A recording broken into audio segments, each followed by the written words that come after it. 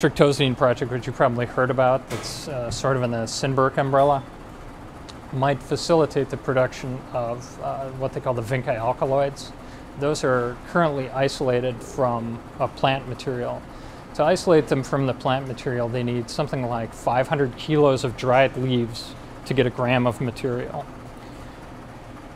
Five, I mean, if you think about 500 kilos of dried leaves, um, in Berkeley, they would think about well, how big is a kilo of pot, I guess, and that's uh, I actually have no idea, but I'm sure somebody at Berkeley does.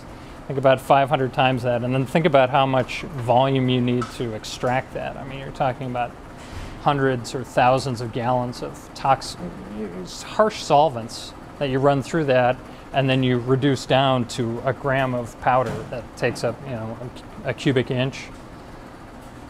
You've got tanks full of these sol- used solvents that you then have to dispose of. You have the land that's dedicated to growing these plants. You have the leftover plant material that's been contaminated with solvent. I mean, it's, you know, I don't know. I, there are people who are against bioengineering, but it's probably one of the greenest technologies around.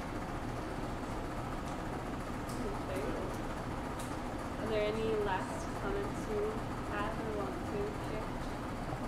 No.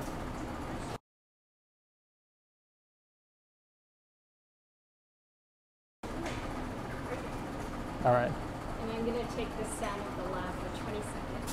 whatever you like.